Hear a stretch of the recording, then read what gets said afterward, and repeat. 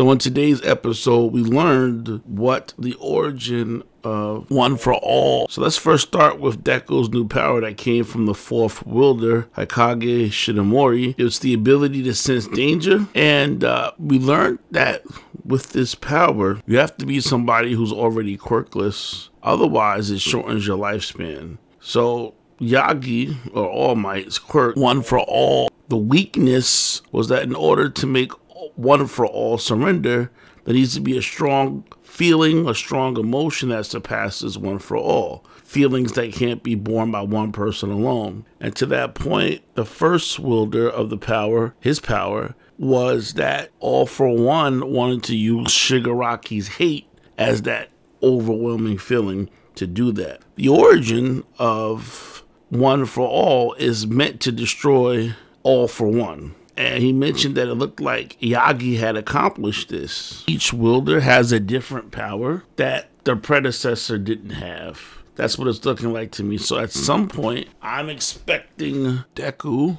to also develop a new power that's going to be added. The president is such that Hawks said that the heroes now are not only fighting villains but public sentiment. So they got to get every bit of information that they can so that they can explain things clearly to the public.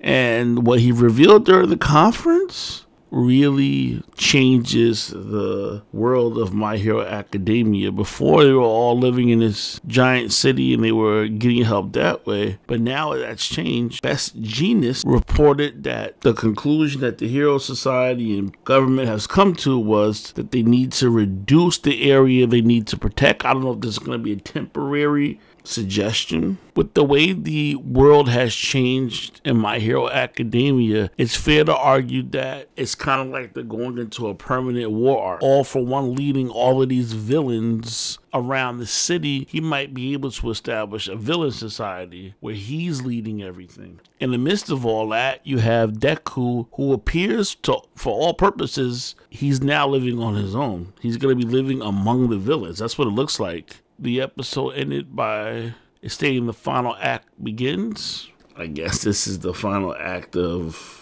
My Hero Academia eventually. I'm not really sure. I don't read the manga. This is from an anime only perspective. Anyway, this is 255 out. One.